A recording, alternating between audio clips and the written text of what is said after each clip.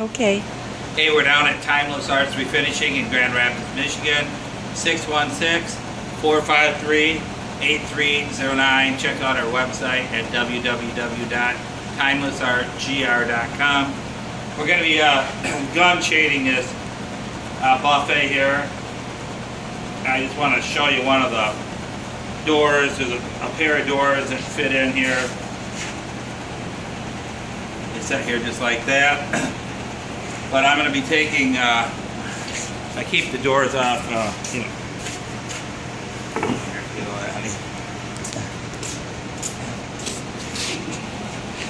I'll be spraying the, the, the doors separately.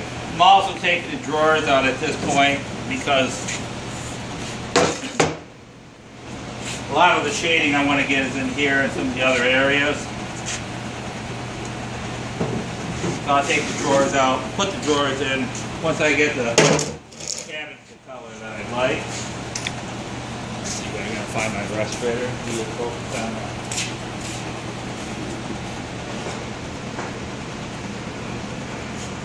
Hmm, where is my mask? I don't know.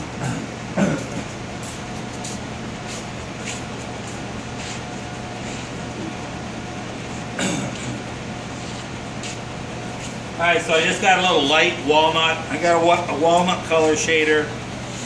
I'm going to be uh, shading it with there. So that'll be coming out of the first gun, which is right here.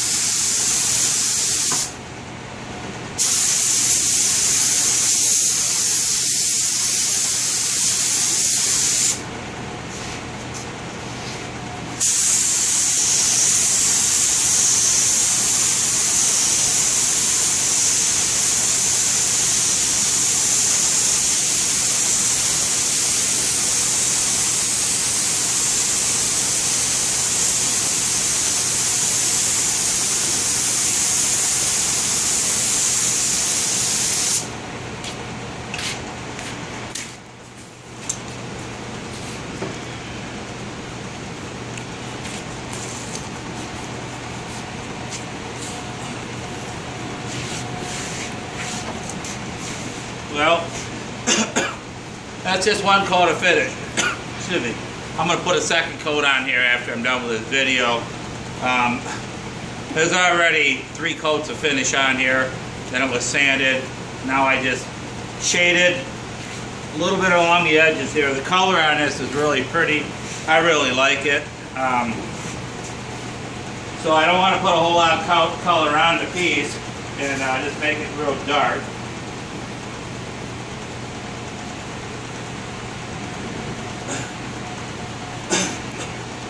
That's a view of it from the front. I'll put one more coat on that uh, here today in a few minutes, uh, probably in 10 minutes. And then I will uh, work on the back side of the doors, put a little bit of color on them and coat them out. And then uh, tomorrow I will sand this, do a little bit more of whatever I feel I need to do. Could be a little touch up, could be a little shade work here and there. Uh, get the rest of the color on it, and then probably put about another four coats on the front of that, uh, up on top of the piece, and coat out the front of the drawers. It's looking pretty good. It goes with this uh,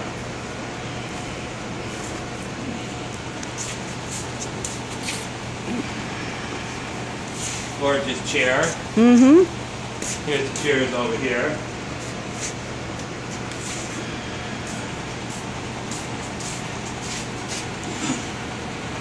That awfully pretty.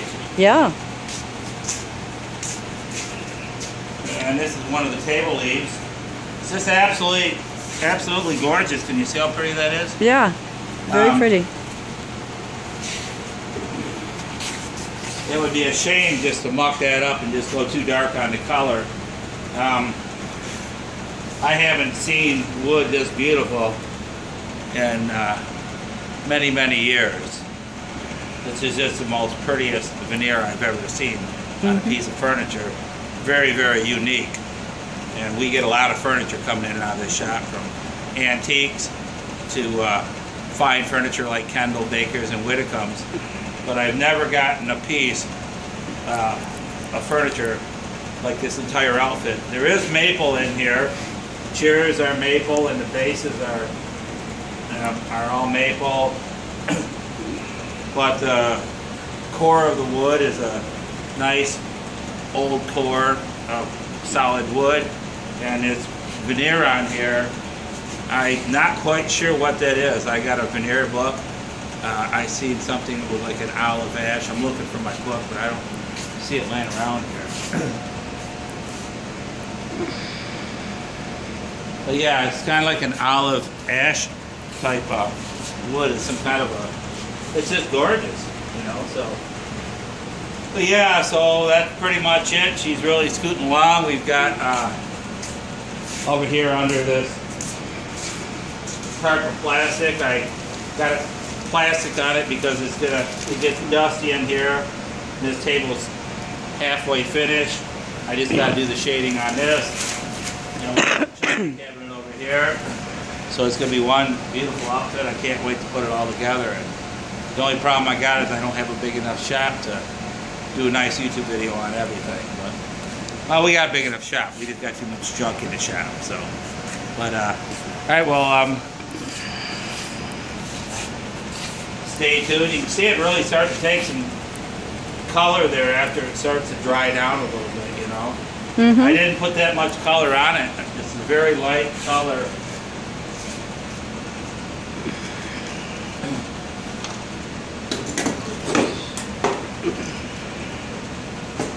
Been an off day for me today.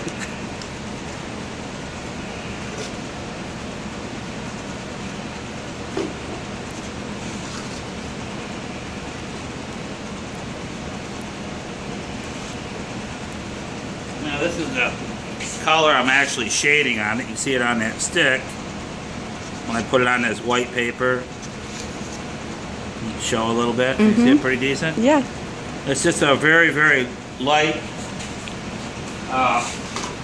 walnut color. So it, like I said, it, the veneer on this is just too darn pretty to be covering up. So we don't want to cover this up, muck it up too much. It's just more of a solid woods and the edging here. You can kind of see how this edging is right in here. Mm-hmm. I don't know if you can see the difference, but see after I shaded a little bit on the buffet, Mm-hmm. you can really see a, a difference. Just enough kind of tone it all back into where it was. And it's pretty close to what it was originally. I got the back panel to the to the uh, china cabinet back there, and it's pretty darn close to that. The back panel is a touch darker um, than what I've got right here, but once again, like I say, you know, it's too pretty to darken up too much, and um, that back panel definitely had aged. I'll get it though.